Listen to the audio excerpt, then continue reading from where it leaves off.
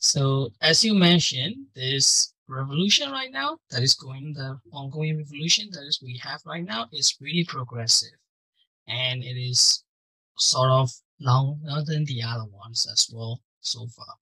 So, uh, do you think do do we need the M struggle as one of the means against the regime, or just the normal mass strikes will be enough? What do you think about it? Well, first of all, the revolution of 1979 was progressive in essence because people wanted freedom, they wanted equality, they were they, the workers were, you know, wanted rights for themselves and equality. So in essence was progressive, but it was not conscious enough. And the left was populist mostly and were anti-imperialist. And this is the problem. Uh, we can touch on that. And that's anti-imperialist left in the whole world has a real big flaw of not seeing the regimes and the systems in as as long as they they have problems with the US, then they turn their blind eye to what's happening in those countries.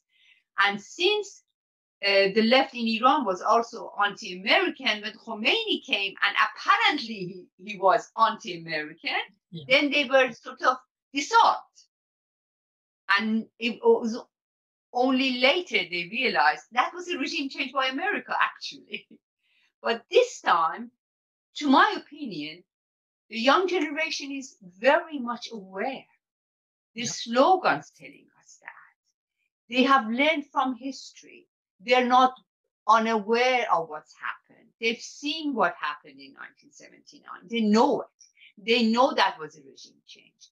They don't want the monarchy. See, what happens now, the US and the West are trying to bring the monarchy back, or the same kind of regime with crown, as we call it, or without the crown. It could be a republic, but the same regime, or with the monarchy. So what they have is the Shah's son, who is incredibly unpopular. He hasn't done nothing in his life, just spending the dollars that the dad took. This is how he's done all his life, had lots of money and lived a luxurious life and just clueless. And so people know that. People are not stupid. They know how much they stole from the country. And this has been happening in this regime too. All these people have taken so much money out of the country taken to Canada, Australia, Britain, Germany, Indonesia, Malaysia, you what you have. They're all the children, they're living luxurious life in US and Canada and different people know that. And we the, the 70% of the population live under the poverty line in a country so rich because billions and billions are taking out of the country. And this happened in the previous regime as well. So this is this is the story people know. So one of the slogans that actually has become very much um, uh, resented and make the right wings angry is the slogan that says no to the oppressor, be it the Shah, meaning monarchy, yeah. or the leader, meaning Khamenei, or this is. They're incredible with the, they, they, they're so creative with the slogans they make. They just rhyme so well. They just, you hear it and you remember it. And all over the country, people saying that no to the oppressor, be it Shah or the leader. And there's another one which is not as widespread, and I hope it becomes as, as widespread, is no to the Shah, no to the mullah. You know what mullah is, the clergy, meaning Islamic regime. Um, councils must rule.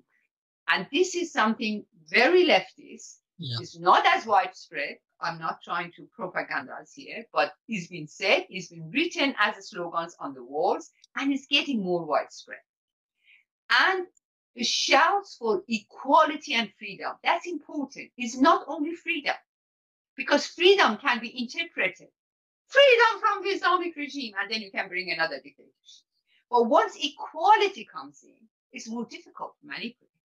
Yeah. Because equality, they at the West, they're trying to only interpret it as equality between men and women, which is very important. very important, and it's been one of the fights of Iran. I am a woman, women's liberation activist all my life, and I'm, you know, I, I chair this organization. But at the same time, I'm a Marxist, and I know what equality really means. For even for men and women, you need an equal society. So when they say equality, they mean for, for everybody. So this shout of freedom and equality, men and women shouting, the West media only interprets it as gender equality. They just want to make it narrower. So because the equality among all the population, oh, oh, oh, that's Marxist. That doesn't go with capitalism, you see? Yeah. But this is what people asking for. The students, the workers, all these young people shouting it's incredible these shouts they they, they talk about and then you also uh, they also have very creative ways of protesting the symbols they use. From the day two three they start first of all women had thrown their veils away which is incredible. No to islamic way. That's that's important. Is an important symbol because I've said it for the past 20 years, even more, that the veil is the flag of the Islamic regime and Islamic movement. So once you say no to that, you say no to that flag, no to that movement, no to that system or the regime in Iran. And after a while, they started burning the veil. That was very important on the street, in the demonstration, city after city, university after university, they burned the veil. And what was beautiful was men and women did it together. Young men and young women, hand in hand, in Islamic society, hand in hand, shouting for equality and freedom, burning the veil. That was incredibly important.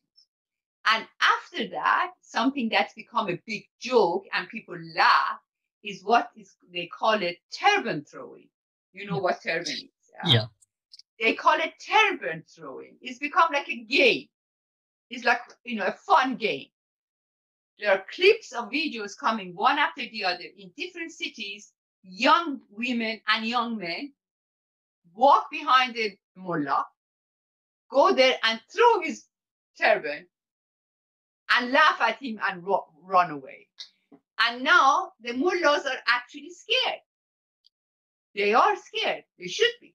They should be because they are part and parcel of a brutal regime that's killed more than million of the population.